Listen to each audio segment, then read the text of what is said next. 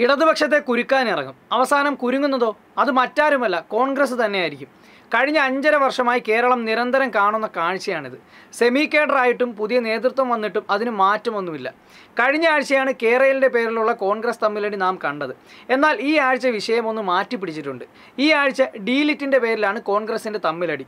തമാശ എന്തെന്നാൽ നിലവിലെ പ്രതിപക്ഷ നേതാവും മുൻ പ്രതിപക്ഷ നേതാവും തമ്മിലാണ് പുതിയ പോര്. ആരാണ് സൂപ്പർ പ്രതിപക്ഷ നേതാവെന്ന് കാണിക്കാനുള്ള ശ്രമത്തിലാണ് ഇരുവരും. പ്രതിപക്ഷ നേതാവ് സ്ഥാനത്ത് നിന്ന് ഒതുക്കിയത് മുതൽ ശക്തമായ പ്രതിഷേധത്തിലാണ് ചെന്നിത്തല. അതോടൊപ്പം സുധാകരനും സതീശനും ചേർന്ന് എ ഐ ഗ്രൂപ്പ് നേതാക്കളെ ഒതുക്കാൻ ശ്രമിച്ചതോടെ പണ്ട് ശത്രുക്കളായിരുന്ന ഉമ്മൻചാണ്ടി രമേശ് ചെന്നിത്തലയും യോജിക്കുകയായിരുന്നു. സംഘടനാ തിരഞ്ഞെടുപ്പ് നടത്തി പാർട്ടി പിടിച്ചെടുക്കാനാണ് ഇരുവരുടെയും ശ്രമം. ഇതിന്റെ ഭാഗമായിട്ടാണ് ഹരിപ്പാട് മണ്ഡലത്തിൽ ഒതുങ്ങി നിൽക്കാതെ ചെന്നിത്തല കേരളം മുഴുവൻ വീണ്ടും ഇടപെടാൻ തുടങ്ങിയിരിക്കുന്നത്. സർക്കാരിനെതിരായ നീക്കങ്ങളിലും വിവാദങ്ങളിലും യഥാർത്ഥ പ്രതിപക്ഷ നേതാവിന്റെ റോളിൽ ചെന്നിത്തലയാണെന്നാണ് ഒരു വിഭാഗം വാദിക്കുന്നത്. സ്വന്തം നിലയ്ക്ക് ചെന്നിത്തല നടത്തുന്ന ഇടപെടലുകൾ ചോദ്യം ചെയ്ത് സതീശൻ അനുകൂലികളും രംഗത്ത് വന്നിട്ടുണ്ട്.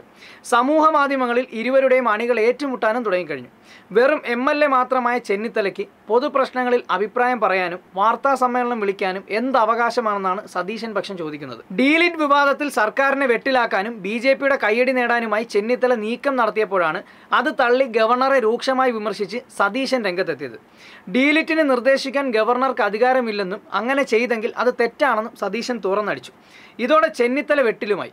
മുതിർന്ന നേതാവായ ചെന്നിത്തല അഭിപ്രായം പറയുന്നതിൽ വിരോധമില്ല. എന്നാൽ താനും കെ പി സി സി പ്രസിഡന്റും പറയുന്നതാണ് പാർട്ടി നിലപാടെന്നാണ് സതീശന്റെ വാദം. ഇതോടെ ചേരിപ്പോര് കൂടുതൽ കടുക്കുമെന്ന് ഉറപ്പായി. പാർട്ടി നേതൃത്വത്തോട് ആലോചിക്കാതെ പ്രതികരിച്ച ചെന്നിത്തലയ്ക്കെതിരെ പുതിയ സെമി കേഡർ ചട്ടപ്രകാരം നടപടി ഉണ്ടാകുമോ എന്ന് കാത്തിരുന്നു തന്നെ കാണണം. ഒരു വശത്ത് ഗവർണറെ അനുകൂലിച്ചും മറുവശത്ത് പ്രതികൂലിച്ചും ഇവർ തന്നെ പരസ്പര വിരുദ്ധ പ്രസ്താവനകൾ ഇറക്കുന്നു.